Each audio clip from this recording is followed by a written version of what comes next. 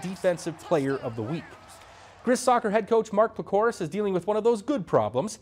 He has put together a team with so much talent, he can't get them all on the field at the same time. Montana has jumped out to a 5 and 3 start, with two of those losses coming against Big Ten opponents 1 to nothing.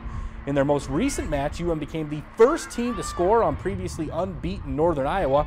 Freshmen Rita Lang and Ray Burton both found the back of the net in their 2 1 victory. The combination of a strong freshman class and an experienced group of upperclassmen gives Plakorus plenty of options.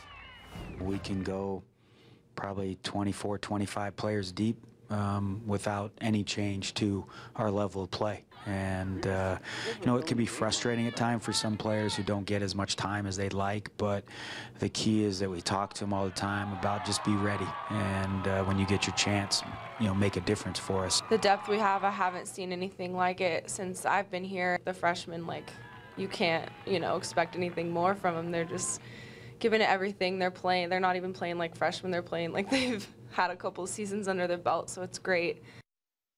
Montana takes on one more very difficult week before kicking off Big Sky Conference play. The Grizzlies face a pair of Pac-12 challenges, starting with a trip to Oregon Friday night. Then the Grizz return home for the first time in three weeks to host Washington State at 2 o'clock Sunday afternoon. We'll be back after this.